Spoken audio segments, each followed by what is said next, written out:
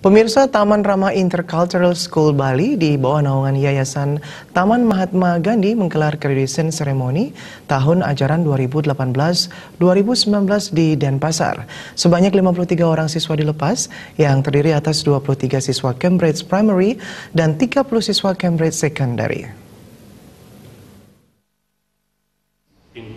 Graduation ceremony dibuka dengan laporan tahunan dari Direktur Cambridge Secondary, James Nicholas Bird. Dalam laporannya disebutkan, selama mengikuti pembelajaran di Taman Rama Intercultural School, baik siswa Cambridge Primary maupun siswa Cambridge Secondary telah berhasil meraih berbagai prestasi.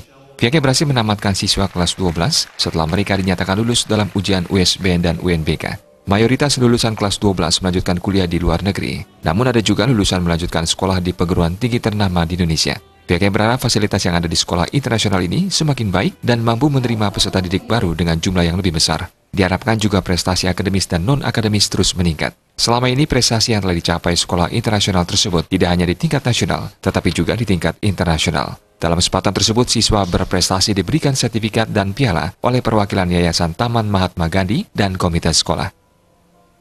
We expect to grow our international school, uh, increasing numbers. We have the facilities in the brand new building to accommodate uh, larger numbers of students. And we hope for greater uh, academic success. We already have uh, very good academic uh, success across Indonesia with top in country and also top in the world uh, achievements from our students. So we hope that continues to grow and we hope to develop uh, all streams so also the, the social stream as well as the science stream as well as humanities stream and we hope we can get top results in all of our streams and allow students to choose their top universities from around the world.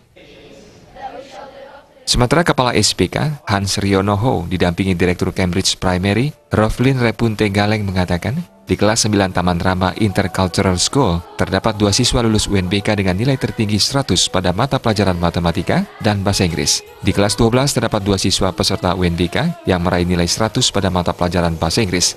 Diharapkan ke depannya siswa tetap berprestasi pada mata pelajaran kurikulum nasional dan kurikulum asing.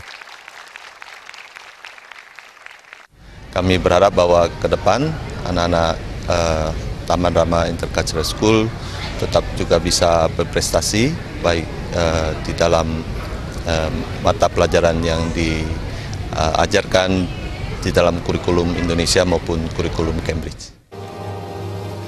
Dalam kesempatan tersebut dilakukan peluncuran buku tahunan dan diakhiri dengan acara candlelight ceremony yang bermakna rela berkorban demi memberikan pengetahuan. Hanya dengan pengetahuan bisa menerangi kehidupan.